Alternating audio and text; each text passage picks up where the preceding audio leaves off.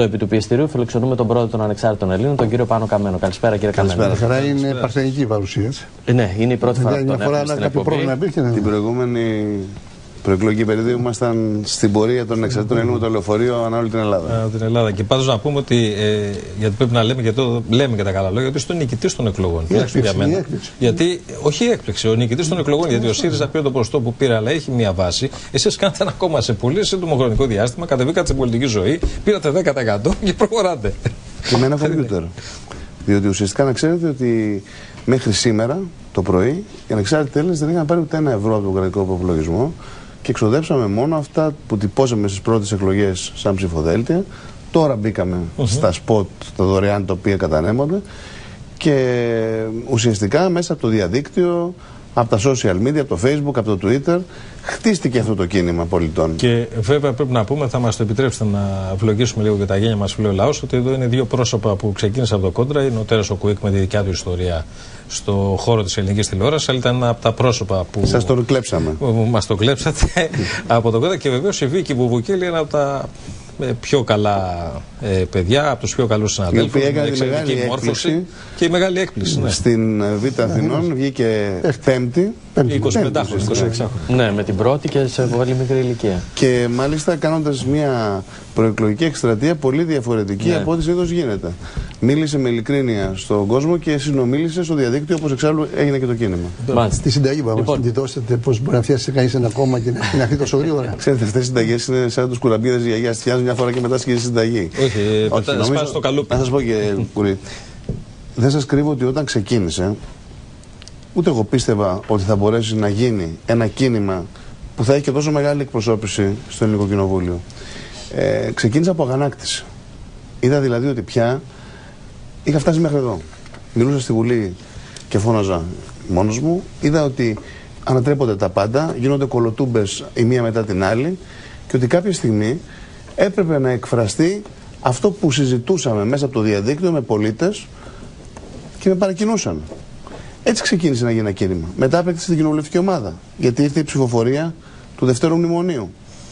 Και μετά Τώρα από αυτό όμως, βέβαια. ενώ εσείς, ενώ εσείς ξεκινήσατε καταψηφίζοντας την κυβέρνηση της Παπαδήμου, έτσι φύγατε από τη Νέα Δημοκρατία, έτσι διαγραφήκατε. Και θυμάμαι τότε, έχω εδώ τη δήλωσή σας, την ανακάλεσα σήμερα, που είχατε πει τότε: Είπα στον πρόεδρο ότι τον στηρίζω, αλλά δεν μπορώ να έρθω απέναντι στη συνείδησή μου. Θα ψηφίσω όχι. Στηρίζω τη Νέα Δημοκρατία και δεν θα δημιουργήσω κανένα πρόβλημα στην παράταξη.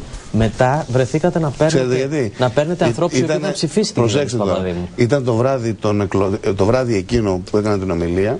Ήταν ένα πλάνο, αν το δείτε, στην ομιλία, όπου ο κύριος Σαμαράς καθόταν πίσω, ήρθε δίπλα μου και δίπλα και ήρθε και ο κύριος Ζώης. Και του λέω: Δεν πιστεύω να προχωρήσει σε στήριξη μνημονίου. Μου λέει: Εγώ που βάζω το λόγο μου και την υπογραφή μου και βάραξε και το χέρι, δεν το παίρνω πίσω. Και βέβαια όχι απλώ το πήρε πίσω, έκανε την κολοτούμπα του αιώνα και ψήφισε το δεύτερο μνημόνιο. Και ουσιαστικά η κυβέρνηση Παπαδήμου που το έκανε προκειμένου να πάρουν το PSI που θα ελάφρυνε το χρέος, αυτό που έκανε είναι να διαλύσει την εθνική οικονομία.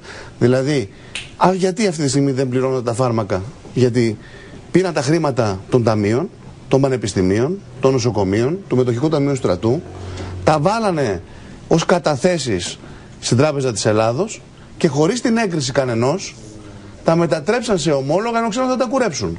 Αυτό γιατί, για να βγαίνει κοιτή ο κύριος Σαμαράς και ο κύριος Βενιζέλος και να πούνε ότι πετύχαμε το PSI.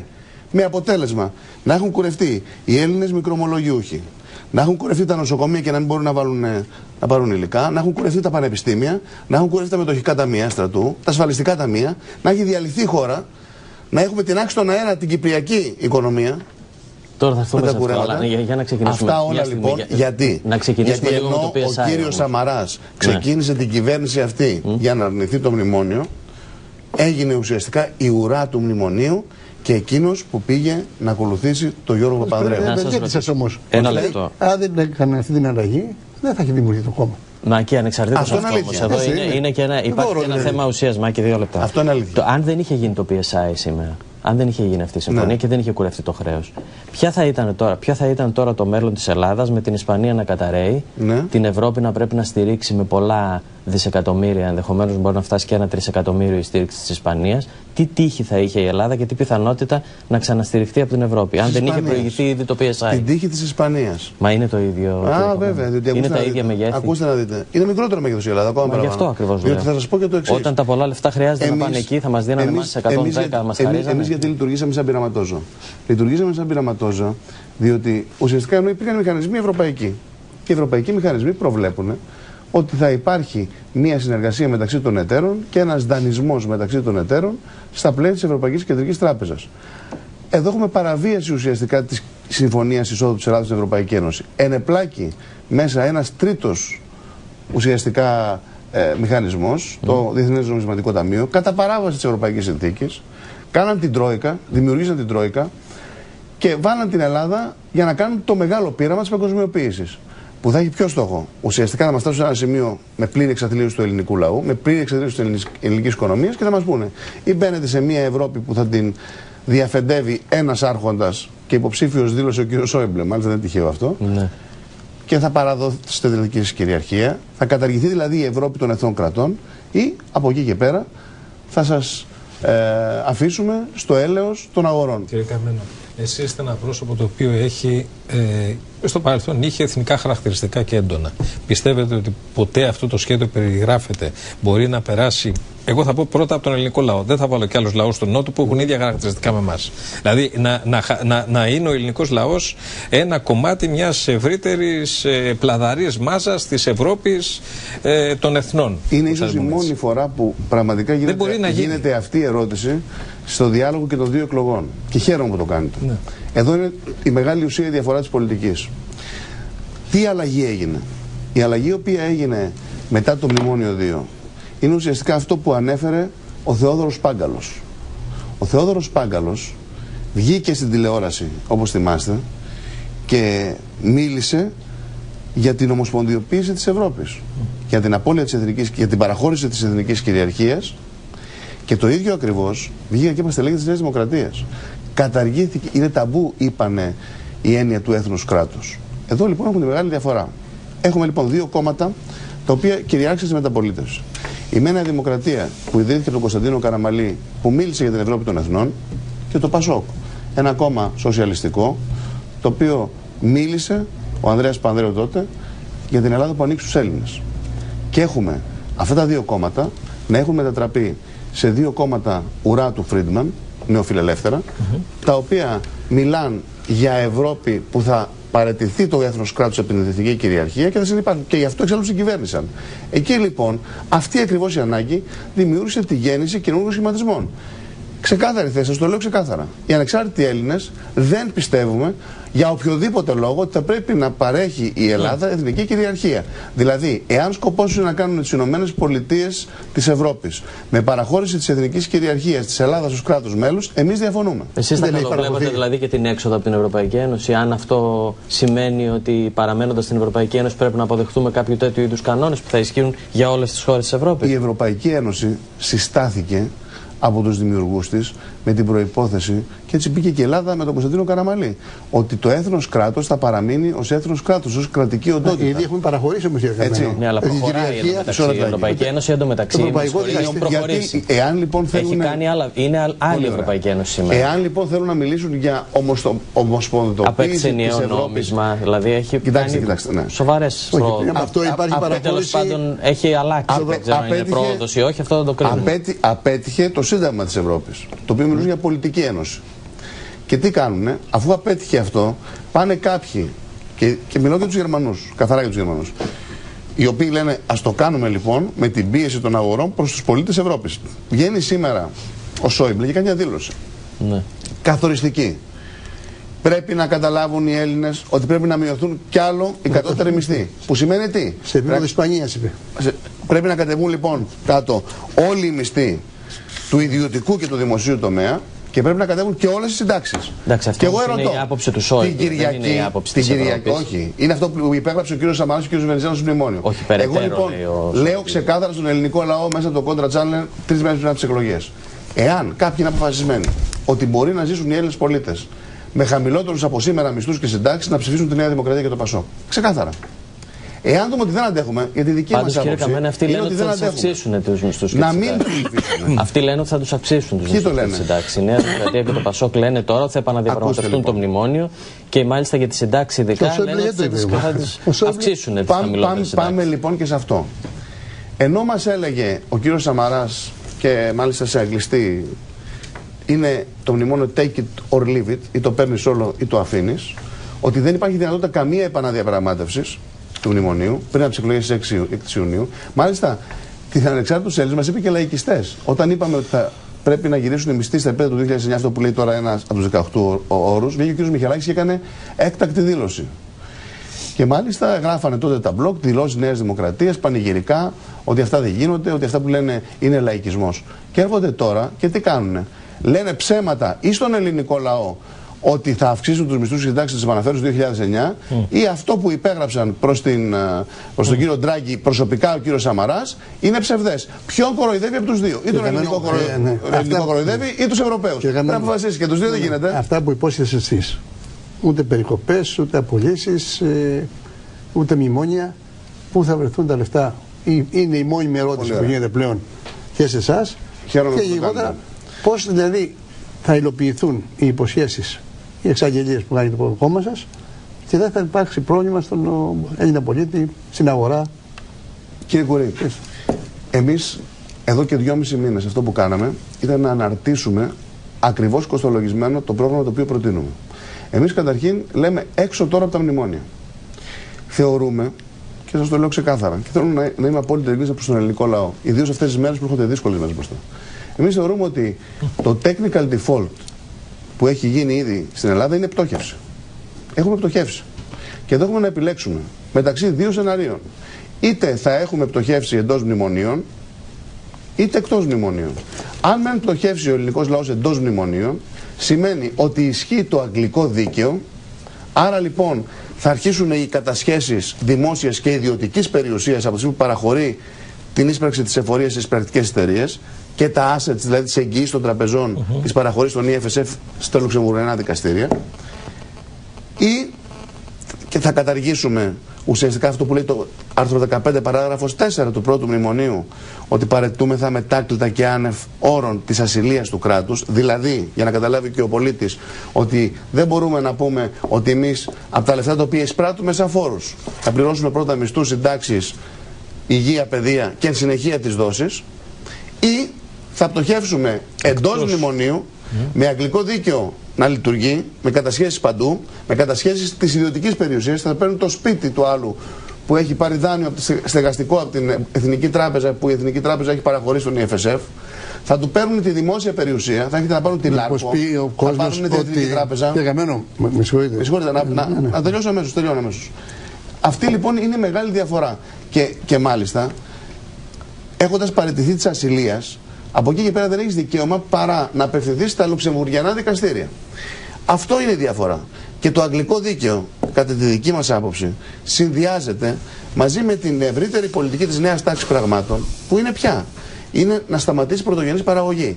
Όταν έρχεται και σου λέει ότι κάνω το νέο διατροφικό κώδικα, όπου σου απαγορεύω να σπείρεις, όπου θα σου ελέγχω τους υδάτινους σπόρους για να καλλιεργήσεις, μετατρέπουν ουσιαστικά τον πολίτη σε αριθμό μητρώου. Αυτά τα συμβόλαια δεν υπήρχαν. Υπήρχαν και πριν από τα μνημόνια αυτά. Ναι, αυτά ήταν. Αυτά ο διατροφικός κώδικας ναι. πέρασε τον ναι. Απρίλιο του 2020. Και να βγουν οι ελιέ, να ξεριζωθούν τα μπέλια, οι ελιέ. Αυτό βεβαίω. Καπνός. Βεβαίως. Ξεκίνησε από πολύ πιο πριν. Δεν έχω, δεν Όπως έχω... επίσης έχουμε παραχωρήσει εθνική κυριαρχία από τη στιγμή που έχουμε δεχτεί το Ευρωπαϊκό Δικαστήριο. Ότι δεν βγάζει την απόφαση η ελληνική δικαιοσύνη, μπορεί να προσφύγει πλέον στην αρμοδιότητα της Ευρωπαϊκής Μετά. Ναι. Μετά που τελεσίδικη απόφαση του ελληνικού δικαστηρίου, δύναται, δύναται να προσφύγεις στο Ευρωπαϊκό Δικαστήριο. Ακόμα ο... και τις χωματερέ προσφεύγουν και ναι, Αλλά από εκεί τι γίνεται; η, απόφαση, η απόφαση εκτέλεσης της απόφασης του, του, του δικαστηρίου. Ναι, Ουσιαστικά δεν, δεν είναι υποχρεωτική για τη χώρα. Πληρώνει πρόστιμα. ένα λεπτό. Έτσι; Ε, θέλω, Αυτή όμω. Να απαντήσω στον ναι. κύριο και ευχαριστώ να σα απαντήσω. Ναι, ναι, ναι. Ε, η, η παραχώρηση λοιπόν αυτού του είδους της εθνικής κυριαρχίας έχει το ελληνικό, το κυρίαρχο κράτος, γιατί είναι και αφορά όλες τι χώρες, του ΒΕΤΟ. Εδώ αυτό που να γίνει. Δεν υπάρχει Ναι, βέτο. Εκείνο ο νόμος για το βασικό μέτοχο. Είναι ότι δεν πέρασε. Και τι έγινε; Το είδατε τώρα τι γίνεται με το, με το βασικό μέτοχο; Και δεν το λέει κανείς. Ουσιαστικά επιτρέπουν τον νόμο για το βασικό μέτοχο και το έγραψε μια εφημερίδα. Έρχεται η Ευρώπη και δικαιώνει για το βασικό μέτοχο. Ναι. Και βέβαια δεν υπάρχει την Δημοκρατία, έτσι. Κύριε Χαμένε, επειδή, επειδή Και ξέρουμε τώρα τα όλοι... βρήκαμε με τους υπολάβου. Μια στιγμή. Επειδή ξέρουμε όλοι ότι τόσα χρόνια η Ευρώπη λειτουργεί με ένα πολύ συγκεκριμένο τρόπο, με διαπραγμάτευση, με αποφάσεις που αργούν να έρθουν, με πάρα πολλά λάθη τα οποία όλοι κατα, καταδικάζουμε. Εγώ θέλω να καταλάβω κάτι, εδώ που είναι τα πράγματα.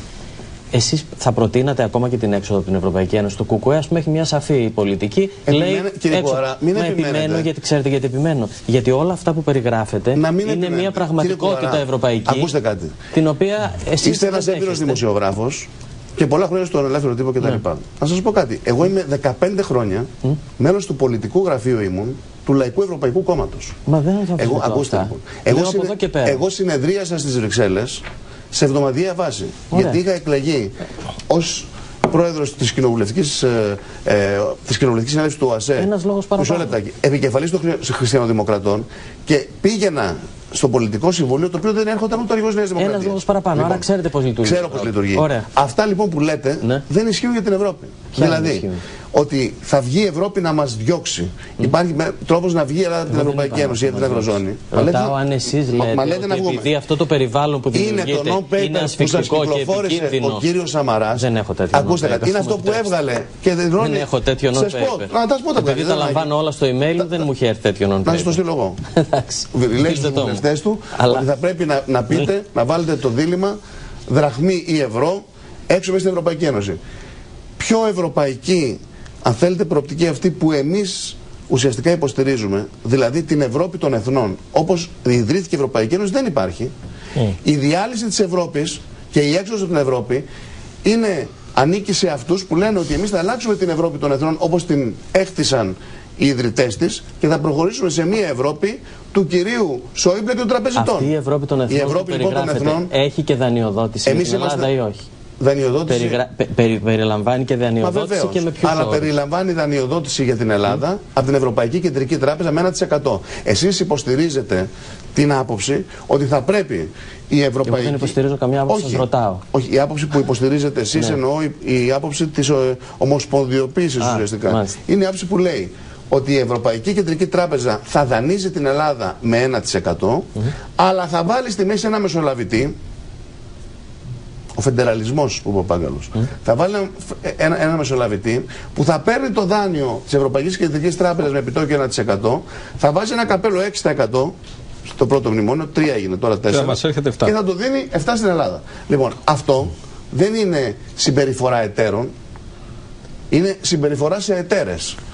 Πάντως, Δηλαδή, τώρα βάζει δεν ένα δανειζόμαστε καπέλο με 7%. το οποίο ουσιαστικά. Τώρα έχει 4% καπέλο. Ναι. Έτσι. Ναι. Το καπέλο αυτό είναι 4 φορές λιγότερο. επάνω τον νόμο τόκο. Εάν εσείς έχετε πληρώνει 18% στην κάρτα σας αυτή τη στιγμή επιτόκιο, είναι σαν να σας βάλει 80. Ναι, το- το αυτό λοιπόν κατάλαβα. είναι, ένα, είναι μια συμπεριφορά που δεν υπάρχει πουθενά περιγεγραμμένη στην Ευρωπαϊκή Συνθήκη. Δεν είναι ευρωπαϊκή αυτή η συμπεριφορά. Είναι συμπεριφορά που κάποιοι εμπνεύστηκαν και γι' αυτό το λόγο βάλαν την Τρόικα. Γιατί ανέπλεξαν το Διεθνές Νομισματικό Ταμείο. Διότι αν πηγαίνανε μέσα από τις δομές της Ευρώπης να το κάνουν, θα πάμε. του είχαν πετάξει με τις κλωτσές. Κύριε Υπάρχει Καμένο, από αλλού πρέπει, φθηνότερος δανεισμός. Αυτό είναι το Γιώργο, ερώτημα.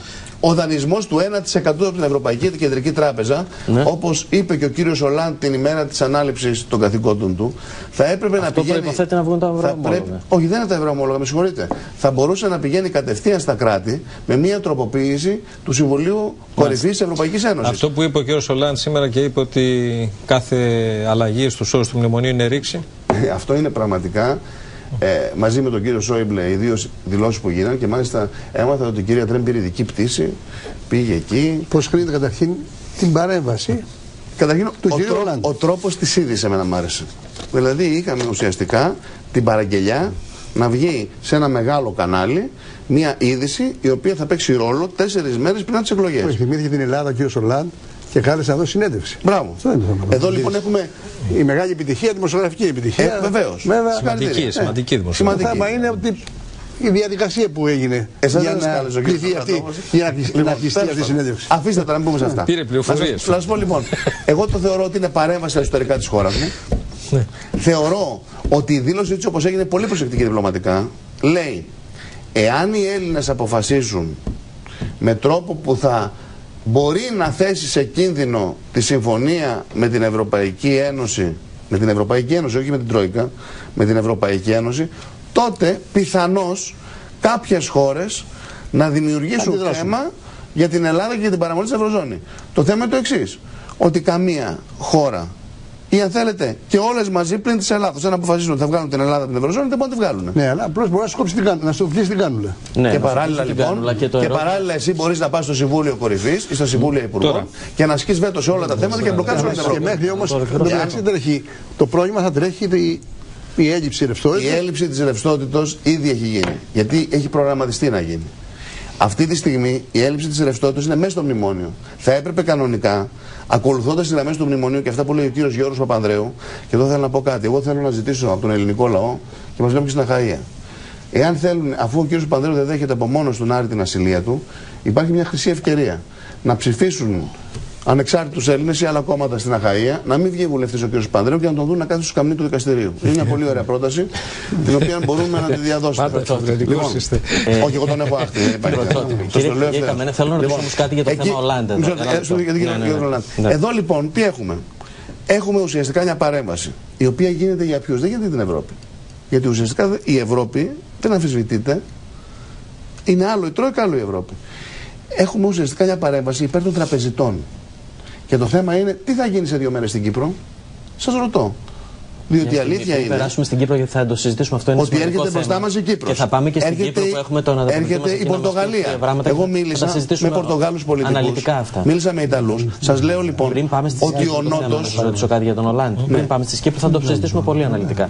Θέλω να μου πείτε το εξής. Επειδή ο Ολάντ ήταν ένα πρόσωπο το οποίο το περιμέναμε όλοι είχε δημιουργηθεί μια προσδοκία ότι με την εκλογή του Ολάντ θα αλλάξουν κάποια πράγματα στην Ευρώπη, ότι θα σπάσει ο, ο άξονας Μέρκελ-Σαρκοζή για την πολιτική της λιτότητα στην Ευρώπη και ούτω καθεξής. Αν ούτε ο Ολάντ μπορεί να είναι σύμμαχός μας, αναρωτιέμαι ποιοι είναι αυτοί οι σύμμαχοι που θα μας πάνε σε αυτή την κοινωνία των εθνών που ευαγγελίζεστε. Για την πολιτική της λιτότητας που λέτε. Ναι. Εμείς δεν λέμε δηλαδή υπάρχουν σύμμαχοι στην Ευρώπη για αυτή την κατεύθυνση που περιγράφετε ή θα είμαστε μόνοι Για να είμαστε απόλυτα σαφείς. Εγώ δεν λέω ότι θα πρέπει αύριο να καταργηθούν τα μνημόνια και στη θέση τους να μην υπάρχει μια εθνική αντιπρόταση.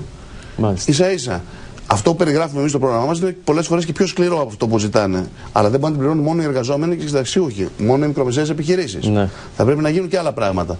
Λοιπόν, όσον αφορά τον κύριο Λάντ, πράγματι υπήρχε μια προσδοκία για αλλαγή πολιτικής της υπερεξουσίας της Γερμανίας απέναντι στον Νότο. Ναι, και του μοντέλου αυτό. Και το μοντέλο αυτό. Ο κύριος Ολάντ πράγματι έχει κάνει κινήσεις για την αλλαγή της πολιτικής αυτής. Ναι. Δεν μπορούμε να πούμε ότι η σημερινή του δήλωση. Μα, μα γι' αυτό σας το λέω. Έτσι, έχουν γίνει κινήσεις. Θα σας πω ότι επειδή συνομιλώ με πάρα πολλούς πολιτικούς και από την Ισπανία και από την Πορτογαλία και από την Ιταλία και από τη Γαλλία περισσότερο. Ε, όλη η Ευρώπη πλέον του Νότου αρχίζει να προβληματίζεται. Διότι βλέπει ότι έρχεται η καταστροφή στο σπίτι της. Εδώ πέρα μιλάμε για, το, για τον Ντόμινο. Ναι. Ο κύριος Ορλάντ όμως, σήμερα με αυτό που έκανε, πιστεύω ότι ουσιαστικά διαχώρισε τον Νότο με τον Βορρά.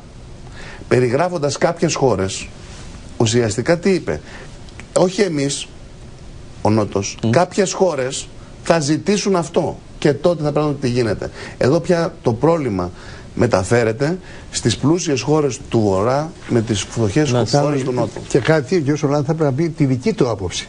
Αν θα ζητήσει Σωστά. και όχι άλλες χώρες. Είπε ότι αυτός δεν θα ζητήσει. Το είπε. Γιατί τον άκουσα. Πώς είπε, είπε, είπε ότι αυτό δεν αφορά εμάς, αλλά θα υπάρξουν. Λέει, εμείς δεν θα το κάνουμε. Εμείς δεν θα το κάνουμε. Λέει γενικά, ναι, το αυτό που λέει ο κ. Κουρί. Το, το αφήσα, εγώ πιστεύω δεν είναι τώρα. Είναι, λίγο είναι αυτό, τα πολιτικά δεν είναι. Πήγε να καπελώσει, αρχίζουν τώρα που βλέπουν να υπάρχουν αντιδράσεις στην Νότια Ευρώπη υπάρχουν κάποιοι που θα θέλουν να γίνουν οι leader της αντίστασης κατά της γερμανικής mm. κατοχής. Να πάμε σε μια, σε λοιπόν, μια ερώτηση. Πάμε στην Κύπρο ή όχι; Όχι, να πάμε, ε, πάμε λίγο στην Κύπρο, λίγο αργότερα.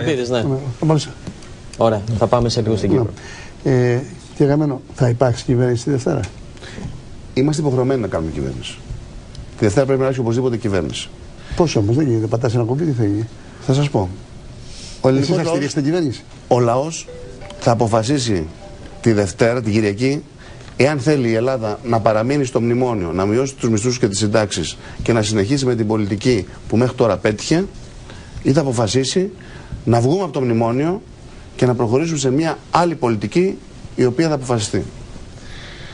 Εμείς θα κάνουμε τα πάντα για να γίνει κυβέρνηση με τις προποθέσει όμως που έχουμε θέσει. Δηλαδή άμεση κατάργηση του μνημονίου. Ε, Πώς δύο κόμματα. Νέα Δημοκρατία Έτσι. αποκλείεται, η Πασόκ αποκλείεται και η Δημάρα αποκλείεται.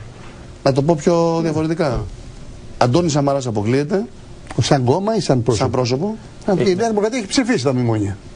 Υπάρχουν ε, και βουλευτές οι οποίοι δεν έχουν ψηφίσει τα μνημόνια. Μέσα από τη Νέα Δημοκρατία. Βεβαίως. Υπάρχουν νεοκλεγέντες, θα σας θυμίσω ότι είναι πάνω το 50%. Μια στιγμή, πάντως Και σας δεν λέω ότι στα υπάρχει- χωριά Δεν του. έχει διαφωνήσει πολύ. Κύριε Καμένα, σας δεν λέω στα υπάρχει χωριά κανένας τους, όμω βουλευτή που αυτό- να λέει καταγγελία του μνημονίου. Ακούστε, αυτό που είπε χθες ο κύριος Αβραμό, προχθές ο κύριος Αβραμόπουλος, Κουμενική κυβέρνηση. έτσι, η οικουμενική κυβέρνηση. Αλλά δεν είπε όμως με τα Και μνημόνια. μάλιστα στην ερώτηση για την καταγγελία των μνημονίων δεν απάντησε σαφώς. Θα το δούμε. Εγώ νομίζω ότι είναι ήδη ένα βήμα. Πάντως εδώ μας είπε Κατά την για άποψή μου, αναδιαπραγμάτευση. εάν του μνημονίου μπορούσε ο κύριος Αβραμόπουλος. να γίνει μια οικουμενική κυβέρνηση και να αποφασίσουμε όλοι μαζί σαν Έλληνες και να πούμε: Κοιτάξτε κάτι. Αυτή η πολιτική και τη συνταγή που μας δώσατε απέτυχε. Τελείωσε. Έχουμε φτάσει σε ύφεση 6,5. Έχουν κλείσει το 80% των επιχειρήσεων. Σε αυτό- 1,5 εκατομμύριο άνεργοι. 6 εκατομμύρια κατ' Έλλην- από το όριο της φτώχειας. Πάμε λοιπόν όλοι μαζί, Όλοι μαζί ποιο εννοείται. όλα τα κόμματα, μακάρι να έρθουν όλοι. Αν πει ο ΣΥΡΙΖΑ, εγώ δεν μπορώ να, να μετάσχω με αυτού που ψήφισαν το μνημόνιο. Το λέει. Σε κάτι, το έχει πει. Και εγώ έχω πει ότι εσείς δεν το πρόκειται λέτε. να συμμετάσχω με τον κύριο Σαμαρά και τον κύριο Βενιζέλο, οι οποίοι έχουν βάλει και την υπογραφή τους. Ο κύριος Εάν έρθει αύριο. ο Τσίπρας κύριος- λέει για τα κόμματα, όχι τα Εάν, πρόσωπα. αν έρθει αύριο ο κύριος Αβραμόπουλος. Λέω ένα παράδειγμα. Δεν θέλω τον άνθρωπο να τον εκθέσω, ούτε έχω. Μπορεί να είναι ε, δέκα Παπαδόπουλοι, τέλος πάντων. Ας πούμε, και πούνε ότι εδώ, στην κυβέρνηση αυτή την οποία προτείνεται κάποια κόμματα που είστε εναντίον του μνημονίου, συμμετέχουμε κι εμείς ως κοινοβουλευτική δημοκρατία, ως κοινοβούλιο, και δημιουργείται μια οικουμενική κυβέρνηση με τη μεγαλύτερη δυνατή στήριξη, τότε θα έχουμε λύση. Το- ε, Όπως πάντως- επίσης πιστεύω ότι και ο Α, ΣΥΡΙΖΑ ναι, θα πρέπει σε ορισμένα θέματα, για να μπορέσουμε να συμφωνήσουμε, να αλλάξει τη στάση του. Δηλαδή για τους λαθρομετανάστε πρέπει τώρα να αλλάξει Θα τη στάση έρθουμε, θα του. έρθουμε στο λαθρομετανάστε. Για το θέμα κύριε Καμένο, της κύριε Θράκης Καμένο. ή της Μακεδονίας. Είπε ο κύριος Σαμαράς σήμερα ότι δεν μπορεί η Νέα Δημοκρατία να έρθει πρώτο κόμμα και να μην είναι ο πρόεδρος της Ο κ. Πρωθυπουργού. Σαμαράς έχει μια ψήφο να γίνει πρωθυπουργός. Στο όνομα της ψήφου του κ. Σαμαρά να γίνει πρωθυπουργός, ακόμα και αν Ωραία. διαλυθεί η χώρα, εγώ δεν Χθες μπορώ να απαντήσω. βλέπετε όλες αυτές τις Πάντως δηλώσεις. πιστεύω ότι υπάρχουν υπεύθυνες φωνές και στη Νέα Δημοκρατία, οι οποίες δεν είναι το όνειρο της ζωής τους να γίνει ο κ. Σαμαράς πρωθυπουργός, αλλά να υπάρξει μια κυβέρνηση στον τόπο. Εσείς μια αντιμνημονιακή κυβέρνηση με κορμό το ΣΥΡΙΖΑ που προτείνει ας πούμε, αποκρατικοποίηση των, ε, κρατικοποίηση των πάντων, μπορείτε να τη δεχτείτε όταν έχετε ένα πρόγραμμα διαμετρικά 15. αντίθετο. Να σας πω ένα Τι παράδειγμα. έννοια έχει αυτή η Εμείς συνεργασία; έχουμε Γιατί ο κάνει- κύριος Τσίπρας έχουμε άφησε δια- ανοιχτό ότι Ναι. μπορεί να, να βλέπει θετικά μια συνεργασία μαζί σας. Είπε πρωτίστως με τα κόμματα της αριστεράς, δεν σας Να απέκτησε. σα πω ένα παράδειγμα. Το θέμα παραδείγματος της φορολόγησης ναυτιλίας είναι λάθος για μένα. Σήμερα πήγα στο αρχείο του λιμενικού σώματος Ναι. και θεωρώ ότι η ναυτιλία είναι ένας κορμός που μπορούμε να μας βγάλει από την κρίση. Είναι τα ξύλινα τείχη. Έτσι. Εκεί λοιπόν μπορεί να μπει ένας μόνιμος υπουργός, ο οποίος προέρχεται από την ναυτιλία. Ναι, αλλά θα έχει, ένα, Μισό μια, λεπτάκι. θα έχει μια φιλοσοφία η κυβέρνηση. λοιπόν, αυτή. αυτή η μπο- κυβέρνηση θα μπορεί λέει να, να μείνουν οι εμπλακεί Κινέζοι στο λιμάνι ή να φύγουν. Την οι ώρα Κινέζοι που στο έρχεται λιμάνι. το τσουνάμι, δεν πάνε να γυαλίσει τη βάρκα. Εδώ έχετε τσουνάμι. Υπάρχουν δυνατότητες να κάτσουμε κάτω από πριν στο τραπέζι που θα γίνουν οι διερευνητικές εντολές και να βρούμε τις λύσεις. Μα το εθνικό Και εκεί να σχέδιο, μπουν αυτό το άλλοι. εθνικό σχέδιο ανασυγκρότησης το οποίο, για το οποίο μιλάτε και Το εσείς, δικό για μας το οποίο έχετε μιλάτε. δει; Μα το δικό σας δεν έχει καμία σχέση με του ΣΥΡΙΖΑ. Άρα αναρωτιέμαι πώς μπορεί να υπάρξει συνεννόηση. Υπάρχει Αυτό όμως ρωτάω. δυνατότητα σε ορισμένους τομείς να βρεθούν οι καλύτεροι. Dream team τους είπα σήμερα. Δηλαδή, να πάρεις το, το Θήμιο το Μητρόπουλο, τον πρώην γραμματέα του IMO, ο οποίος υπηρέτησε την εμπορική ναυτιλία τρεις φορές εκλεγμένος γραμματέας του IMO, ο οποίος ήταν πρώην στα- ε, ναύαρχος του λιμενικού. Όσοι είναι αποδεκτές από, το- από τους ναυτεργάτες, από τους εφοπλιστές, από τη διεθνή ναυτιλιακή κοινότητα και επίσης εδώ, θα τον βάλουμε σήμερα το Μητρόπουλο. Ναυτεργάτη όμως θα μόνη- πειθαρχήσει όταν θέλει να Βεβαίως κάνει και θα πει, Γιατί με, το, με τον Καταγιάννη το Χαλά ή αν θέλετε με τον Γιώργο τον Βλάχο, τον πρώτο των Πλοιάρχων. Τον Μα πρώτο δεν ήταν σκηνιό. μπροστά ο κ. Καλά, δεν ήταν μπροστά στις διαδηλώσεις, στο κλείσιμο των Λιμανιών. Στο κλείσιμο δεν ήταν ποτέ μπροστά. Δεν είναι σε απεργίε. Όχι. Δεν είναι σε Άλλο είναι απεργίε. λιμενεργάτε και άλλο είναι ναυτεργάτε. Για να μην του- μήπως, ε, Είναι αυτεργάτες, δεν κατε, ε, κατεβάζανε.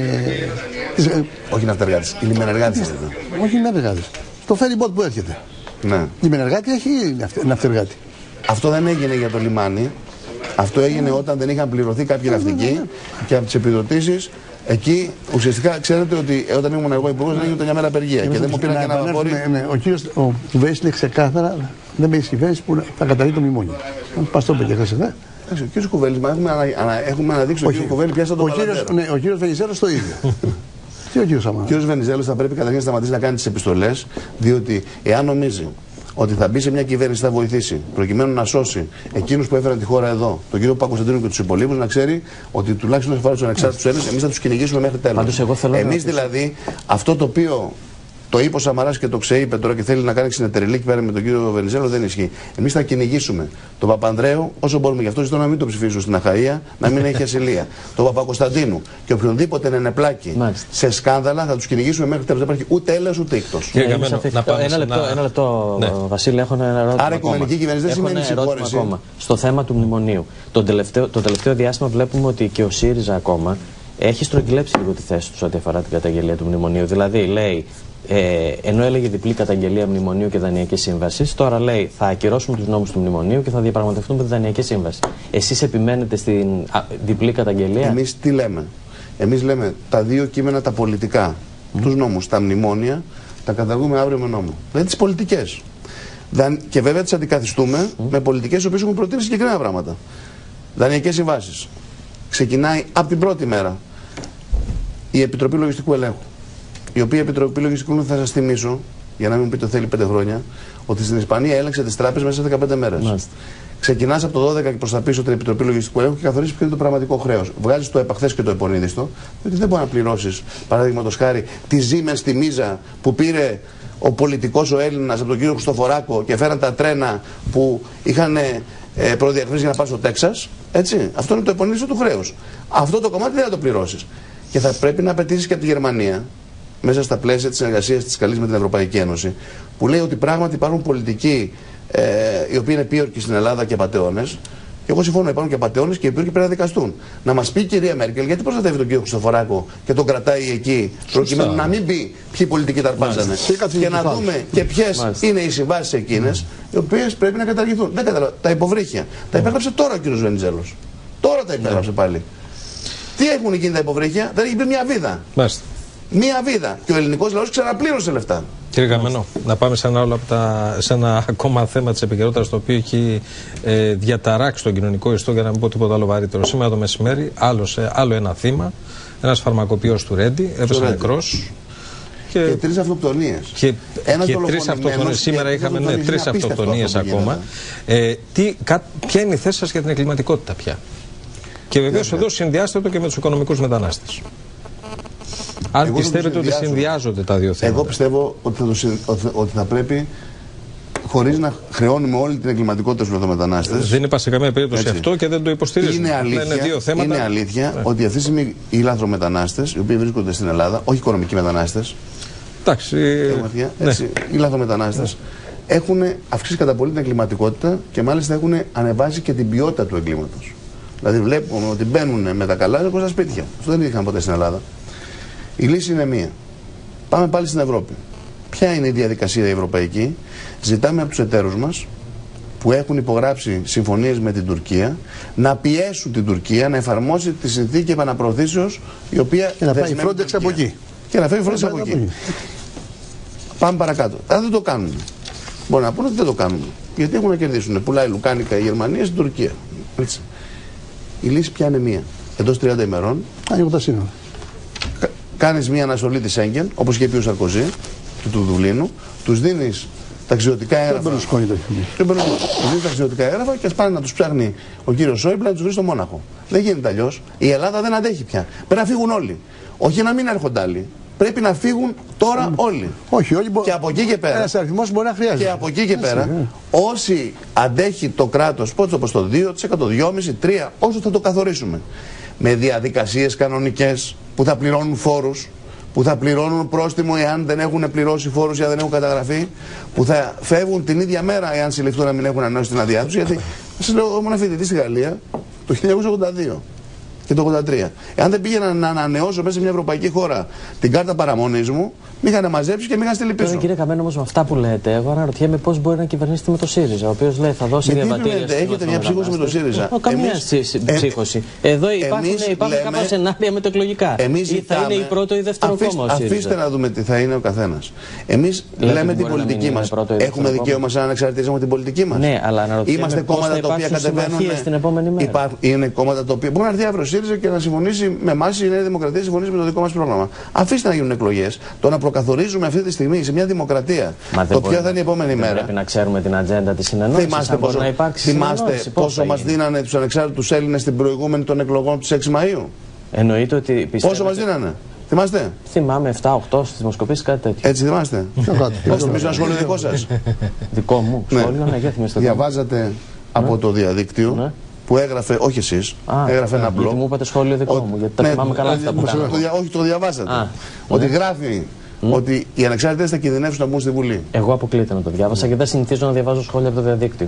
Αποκλείεται να το διάβασα εγώ, βρείτε μου το Εντάξει, βίντεο. Ο ελεύθερος τύπος γράφτηκε λοιπόν, όπως ήταν αρχισυντάκτε. Α, Και καλά, μάλιστα το- εντάξει. ο ελεύθερος τύπος το έγραψε, Τώρα, εντάξει. μεταφέροντα μεταφέροντας Λοιπόν, από το ας μην φήμοτρο, μπούμε τώρα. μεταφέροντας από το μην φήμοτρο μπούμε τώρα σε αυτό. παραπολιτικό της Παρασκευής Ωραία. πρώτων εκλογών. Α Επειδή πούνε είμαστε τώρα σε οι άλλο πολίτες να το μέσο τώρα διαβάσουν. και όχι στον ελεύθερο τύπο, ας μην μπούμε σε αυτή την αντιπαράθεση. Θα, θα προτιμούσα να Δηλαδή μην το θέλω να σας κάνουμε. πω Ναι. ότι ο ελληνικός λαός θα Λοιπόν. αποφασίσει. Αφήστε να υπάρχει δημοκρατία σε αυτόν τον τόπο. Μα και δεν να ξέρω σε αποφασίσει ο τι κόσμος. αναιρεί τη δημοκρατία το να μπορείτε να μας πείτε Μα θα εκ των πρέπει εγώ προτέρων να τα σημεία συνεργαστώ υποκριτικά σύγκλησης. με το ΣΥΡΙΖΑ ή τη Νέα Σε τι ανε- Δημοκρατία αναιρεί και τη να μην δημοκρατία; Συνεργαστεί αυτό. μαζί μου η Νέα Δημοκρατία ή ο ΣΥΡΙΖΑ; Εννοείται ότι μπορεί να Ή είστε πάνω οποιοδήποτε από άλλο. αυτούς. Εννοώ ότι υπάρχουν προγράμματα τα οποία μπορεί να γίνουν αποδεκτά ήδη με τις 18 θέσεις Νέας Δημοκρατίας ή κάποιες άλλες του ΣΥΡΙΖΑ. Το τι κάνανε; Από το πρόγραμμα που είχαμε αναρτήσει εμείς πριν 2,5 μήνες άρχισαν να αντιγράφουν. Μάλιστα. Τι πιθανότητες για να χτίσουμε δίνεται στο σχηματισμό κυβέρνησης; Δεν υπάρχει πιθανότητα να, βγ- μη βγει- να μην βγει η κυβέρνηση και να βγούμε από το προεδρικό Μα με τους μέγαρο όρους που βάζετε χωρίς εσείς κυβέρνηση. δεν θα συμφωνήσουν άλλοι. Τι θα γίνει; Θα βάλουμε λοιπόν. Το ίδιο και χθες το βράδυ με τον κύριο Κουβέλη. Ναι. Πάγκει σε ορισμένα πράγματα. Πώς θα συμφωνήσουν. Κύριε οι άλλοι. Κουρί, θα πρέπει λοιπόν να βρεθούν εκείνες οι συμμαχίες, αν δεν συμφωνήσουμε όλοι μαζί, που θα πλησιάζουν περισσότερο σε μια δυνατότητα σχηματισμού κυβέρνησης προς τη μία ή προς την άλλη κατεύθυνση. Δεν υπάρχει άλλος δρόμος. Ξανά εκλογές δεν γίνονται. Εάν μεν επικρατήσουν κάνουμε. οι δυνάμεις οι οποίες Αυτό θέλουν θέλει και ο λαός. να προστατεύσουν την εθνική κυριαρχία και είμαστε κατά του φεντεραλισμού, δηλαδή της παράτησης εθνικής κυριαρχίας και της Ευρώπης με επικεφαλής και πρωθυπουργό τον κύριο Σόιμπλε με μείωση των μισθών και των συντάξεων, θα ψηφίσουν προς τα εκεί. Εάν δεν θέλουν να προφυλάξουμε με κοινωνική δικαιοσύνη, με πατριωτική πολιτική, τη συγκεκριμένη εθνική κυριαρχία για την οποία έχει χυθεί αίμα, θα προσ- ψηφίσουν προς τα εδώ. Όπου ψηφίσει ο ελληνικός λαός θα κατευθεί και η πολιτική, αλλά θα υπάρξει συμφωνία. Ευχαριστούμε. Σας ευχαριστώ πάρα πολύ. Λοιπόν, Είστε ευχαριστούμε, καλά. κύριε Καλή Καμένο. επιτυχία. Καλά.